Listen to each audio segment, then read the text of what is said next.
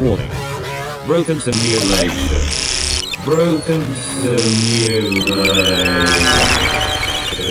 uh, artificial intelligence technology can secure sites by scanning major venues for weapons.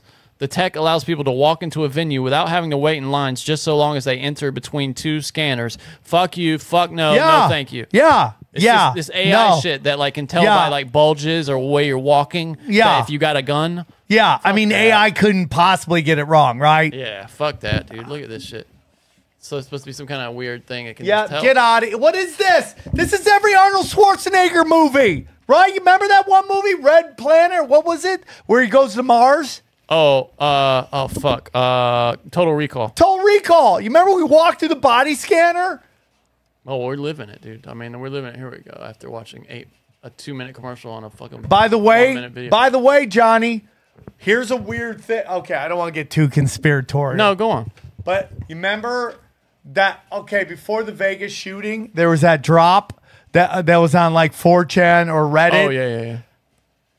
That that that what's his name? The old the old British the old billionaire Israeli billionaire that owned a bunch of uh, casinos in Vegas. What was his name? Sheldon Adelson. That he had invested in a company that did this. And you remember they wanted to put them in every single casino.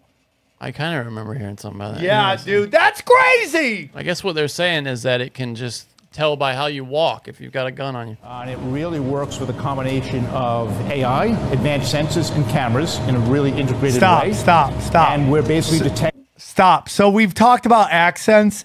Is this the accent you want to hear this guy from? Like weird no, no, no, Boston no. accent? No, no, yeah. no. You know, you now I can tell if you got a piece of something.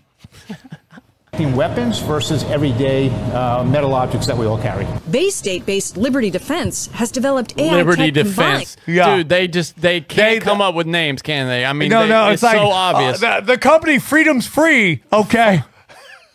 Liberty Defense. I mean, it sounds like something from The Boys, honestly. Yeah, it's like a, so like a, ridiculous, Like the bro. superhero company from The with Boys. 3D imaging, capable of hunting for non-metallic threats. These uh, like AI powders, robots pipe uh, brought to you by made from plastic. kittens. So okay. whether that's a gun or a knife or plastic explosive that could do damage, or maybe even drugs, right? Or liquids. Oh, that's what we The new want, right? HexWave Them system checking will for be tested drugs. this Yeah. summer at a Hindu temple, Stop. a major university, and at the airport in. Wait, they're testing it at a Hindu temple.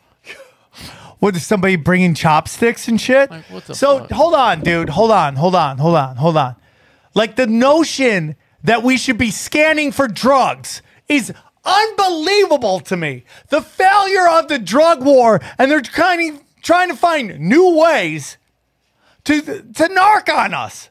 Oh, of course, yeah. I want a drug test of everybody who works at Liberty Freedoms, okay, or Liberty, Liberty Lockdown, Defense. Liberty Defense. Dude, fuck you, and fuck everybody at Boston Dynamics too. When Fuck the zombie, a pot, when the the robot war happens, trust me, trust me, Boston Dynamics, I'm coming for you.